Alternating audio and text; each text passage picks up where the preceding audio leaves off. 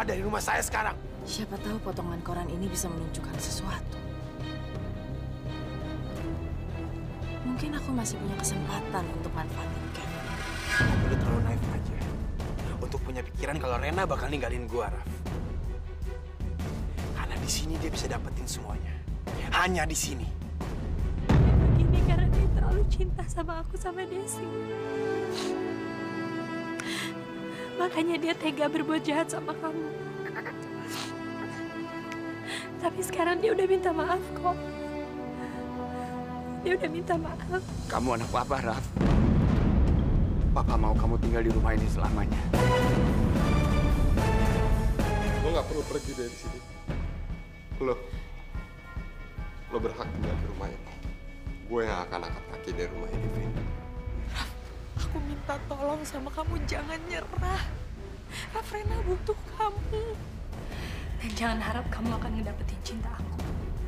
Karena yang ada di dalam hati aku buat kamu itu cuma benci.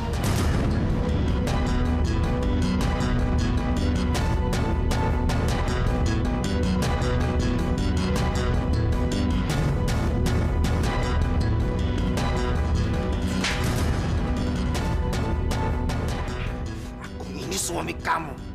Kamu harus hargain aku. Bukannya kamu malah kasih tahu cinta kamu dengan laki-laki lain.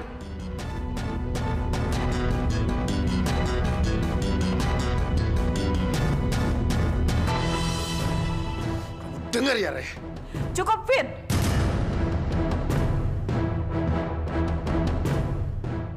Cukup atas kejahatan yang sudah kamu lakukan. Mulai hari ini, Mama nggak akan ngebiarin kamu menyentuh istri kamu. Mama ngapain di sini? Mama ke sini karena Mama nggak kuat ngelihat kamu ngasarin istri kamu. Mama dengar Kevin ya. Apa pun yang Kevin lakukan sekarang, nggak ada urusannya sama Mama. Hmm? Sejak Mama memilih anak haram itu, hak Mama atas Kevin udah nggak ada lagi, Ma. Mama tahu apa? Kevin udah nggak anggap Mama sebagai ibu Kevin lagi. Sekarang Mama keluar. Sekarang Mama keluar.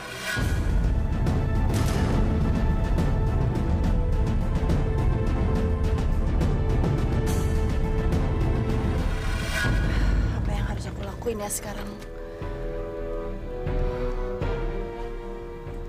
Aku balik ke Bandung atau balas semua perbuatan Kevin ke aku?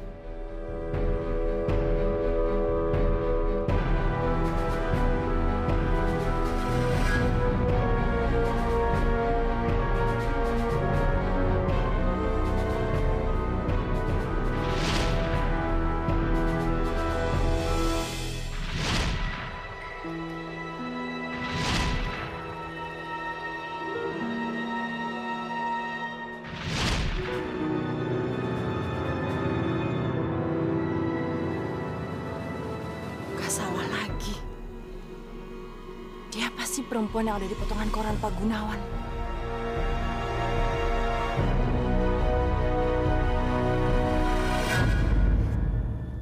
Alhamdulillah.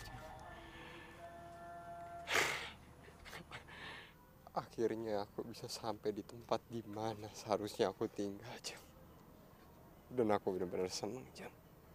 Aku senang. Iya, Raf.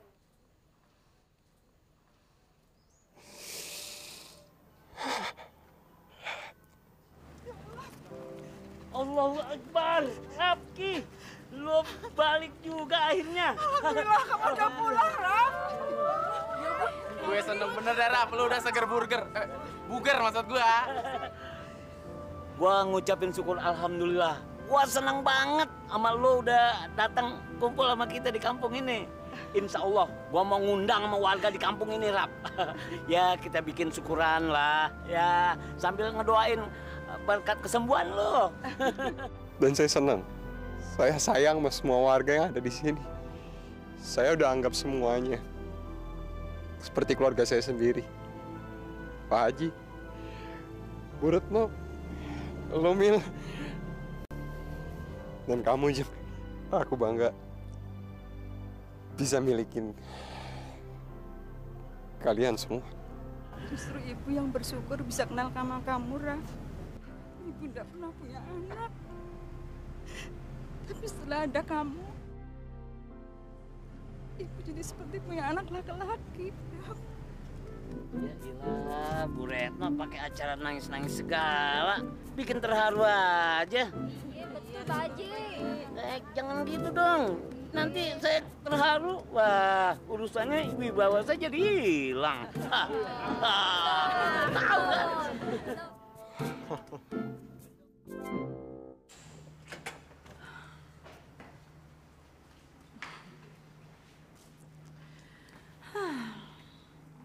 Aku memang gagal nyuri perhiasan mereka. Tapi mereka nggak tahu kalau aku berhasil nyuri uang di ATM. Sekarang saatnya untuk melaksanakan rencana yang lain.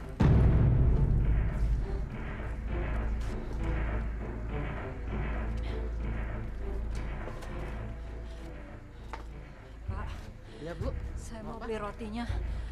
Tapi uang saya cuma seribu. Ya, mana dapat, Bu? Ada sisa saya. Masih setengah, mau. Harganya seribu. Ya, nggak apa-apa deh. Ya udah kalau gitu. Ini, Bu.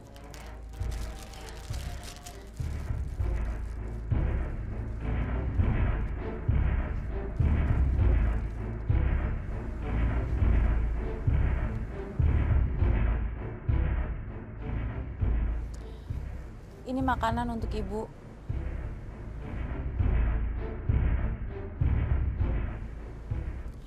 Makanan ini lebih enak daripada roti yang lagi ibu makan. Kamu, kamu siapa? Ibu nggak perlu tahu siapa saya. Yang pasti saya teman ibu. Temanku. Apa, apa Kevin yang nyuruh kamu untuk nemuin saya? Iya bu, benar sekali. Memang Kevin yang nyuruh saya ke sini untuk nemuin ibu. Ini, dimakan.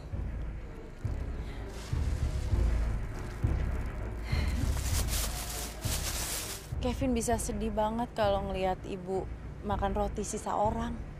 Saya tahu. Kevin nggak bakalan lupa sama ibu kandungnya sendiri.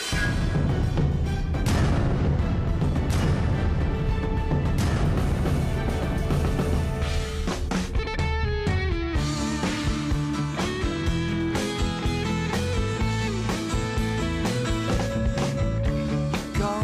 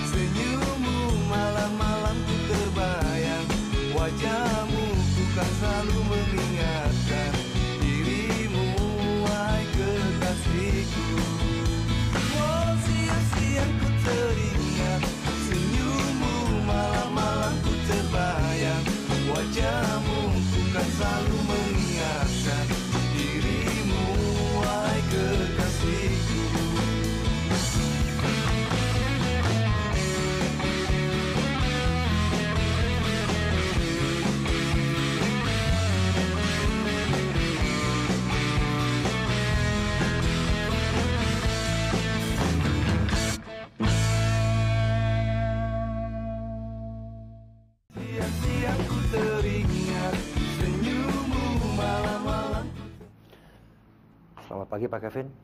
Saya mohon maaf pagi-pagi begini sudah mengganggu. Tetapi ada hal penting yang harus Bapak ketahui. Pak, langsung aja. Apa masalahnya? Pagi ini Pak Benny menghubungi saya. Pak Benny.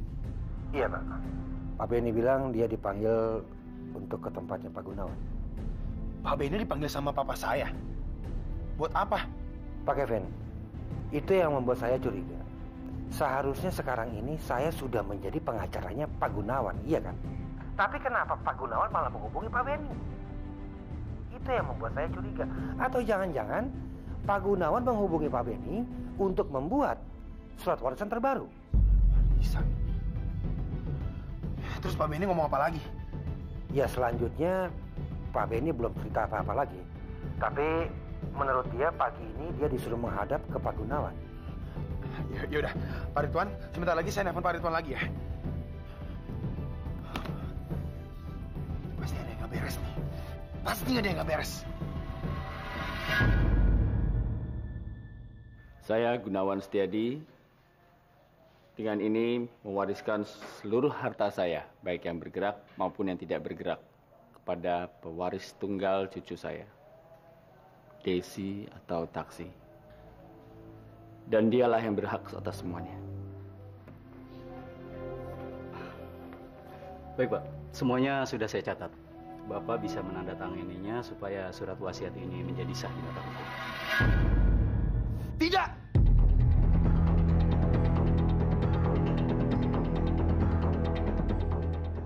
Ini semua tidak akan ada yang pernah terjadi.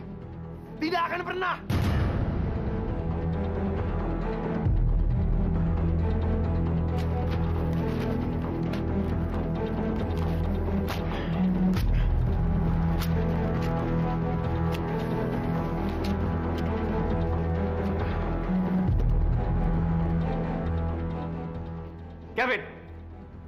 Apa yang kamu lakukan? Hah? Kevin nggak setuju, Pak. Kevin, papa kamu sudah membuat keputusan. Dan sebaiknya kamu menghormati keputusannya itu. Kamu nggak bisa selamanya jadi orang egois, Vin. Kevin ini anak saya, Papa. Kevin punya hak semua untuk warisan ini. Dan Kevin, dengar ya, Kevin bisa memperjuangkan ini di pengadilan untuk semua warisan ini. Nggak sudi kalau ini jatuh ke tangan Desi.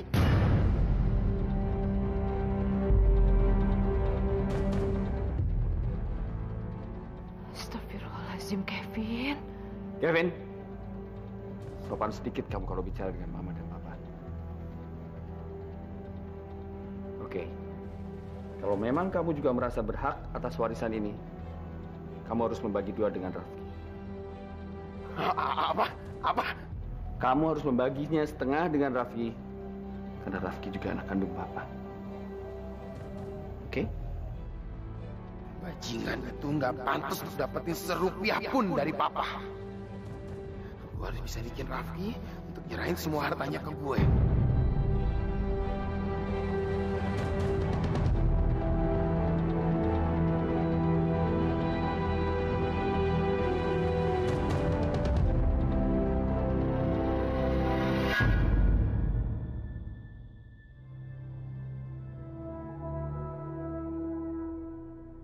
Ibu udah bangun? Iya. Saya enak sekali tidurnya semalam. Hmm, Sampai bangunnya kesiangan gini. Bagus kalau gitu. Saya juga senang kalau ibu bisa beristirahat dengan tenang di sini. Semuanya ini dia siapin sama Kevin untuk saya.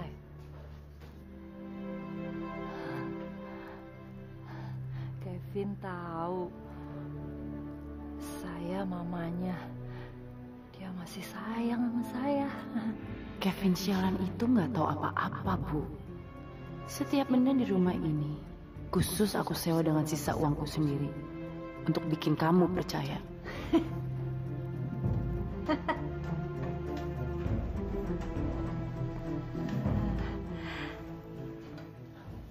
Saya tahu. Saya udah mengira jauh-jauh hari sebelumnya. Kevin pasti sedang memperjuangkan haknya sama Gunawan. Nanti kalau semuanya sudah selesai, dia pasti jemput saya ke sini. Dan membawa saya ke rumah Gunawan yang mewah. Gembel ini benar-benar punya daya khayal tinggi. Bisa-bisanya mantan suster jadi gelandangan dan punya obsesi setinggi itu. Gak heran kalau Kevin punya sifat yang sama kayak dia. Ibu dan anak sama aja.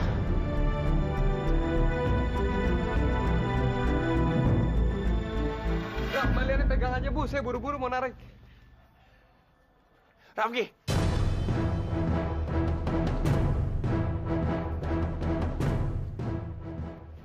Ngapain lu?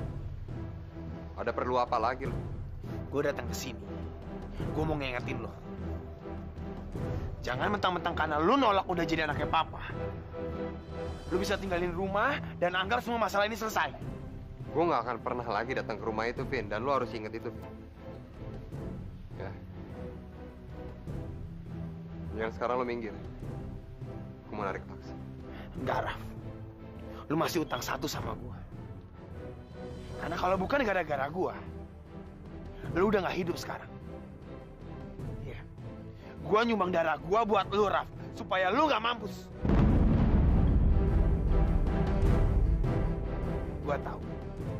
Lu emang ninggalin Rena sama Desi di rumah.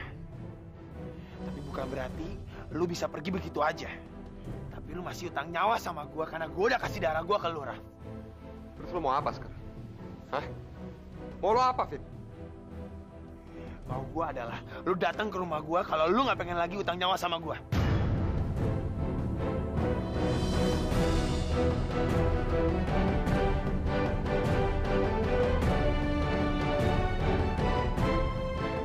Mau gua adalah lu datang ke rumah gua kalau lu nggak pengen lagi utang nyawa sama gua. Siang-siang ku teringat senyummu malam-malam Gimana, Vin? Saya nggak peduli sama omongan tante. Tante nggak bisa perah saya. Jadi kamu lebih pilih mereka semuanya tahu tentang kamu. Oke.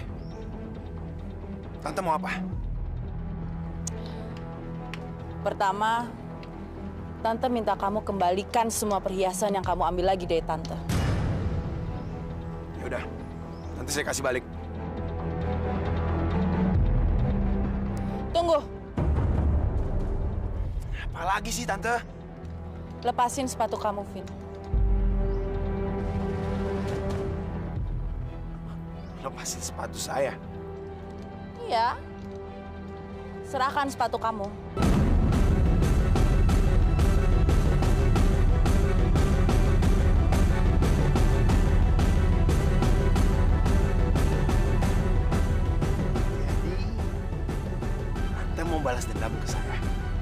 Kamu jangan banyak ngomong, Vin.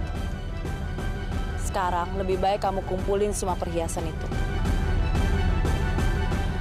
Kamu tinggal telepon tante kalau semuanya udah siap.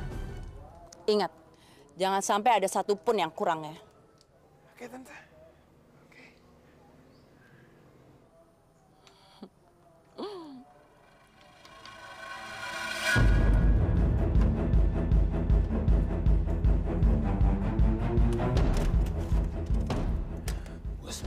Suka cara Rosa maksa gue untuk kasih ini semua.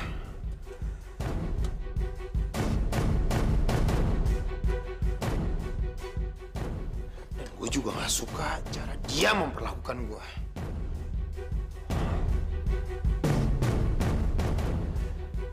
Gue tahu gimana caranya supaya Rosa takut lagi sama gue.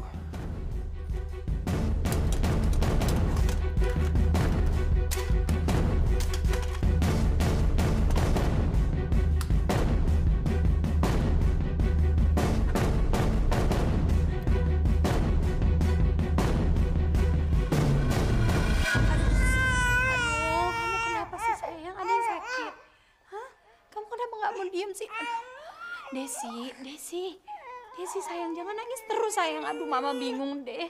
Kenapa sih? Rena, aku baru sadar kalau tante kamu, tante Rosa, dia ngambil jam tangan aku dari berangkas. Dan kamu tahu harganya berapa? Ratusan dolar. Terus kenapa kamu ngeluhnya sama aku? Karena dia tante kamu. Bukannya selama ini kamu yang jauh lebih dekat sama dia? Harusnya bisa dong, Vin, nanya sendiri. Kurang ajar. Aku baru sadar kalau dia selalu mencuri barang-barang di rumah ini. Dan aku yakin pasti masih banyak barang yang diambil sama dia. Itu urusan kamu, Vin. Gak usah libatin aku.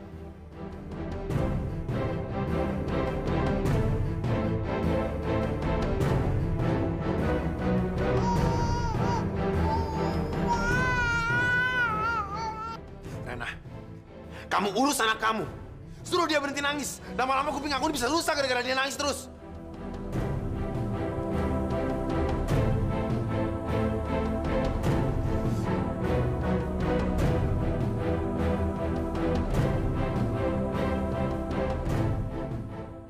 Gue yakin Mama pasti sekarang denger semua yang udah gue omongin.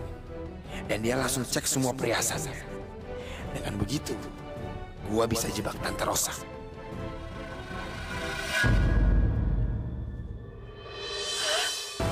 Hilang semua. Aduh, perasaan mama hilang semua. Ada pencuri di rumah ini. Kenapa, Ma? Ini perhiasan mama. Perhiasan mama semuanya hilang. Padahal harganya itu bisa sampai ratusan juta kalau dijual semuanya. Pusing, ya ampun. Pasti pencurinya. Tante Rosa, Ma.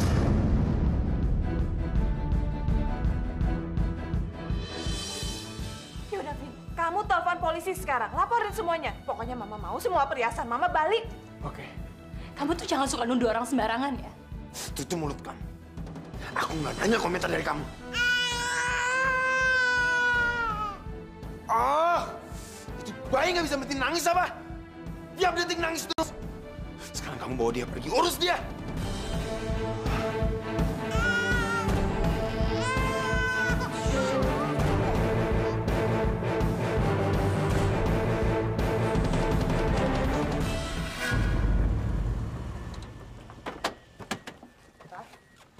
Sore, kok udah pulang? Aku gak fokus kerja aja. Kenapa? Kevin. Kevin. Siapa lagi kalau bukan Kevin? Kenapa dia?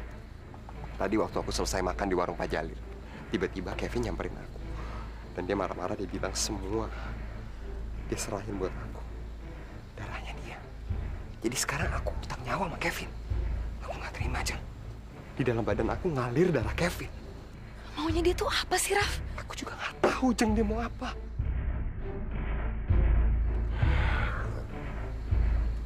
Yang jelas gini, semua harta warisan Om Gunawan itu udah diserahin setengah buat aku dan setengah buat Kevin. Tapi Kevin nggak terima itu semua. Dia nyediain aku berkas-berkas supaya aku tanda tanganin. Jadi bagian aku semuanya lari ke Kevin. Tapi aku nggak peduli, sama sekali nggak peduli. Raf, sebenarnya tuh aku udah curiga Raf Rena sama Kevin punya perjanjian. Makanya Kevin mau nolongin kamu. Jadi sekarang kalau Kevin bilang kamu utang nyawa, itu semua karena dia pengen warisan itu sepenuhnya, Raf. Aku nggak peduli, Jeng. Aku sama sekali nggak peduli. Yang sekarang aku lagi pikirin sekarang di badan aku ngalir darahnya Kevin. Dan soal harta, satu-satunya harta di dunia ini cuman taksi yang punya. Yang lain sih masa bodoh banget.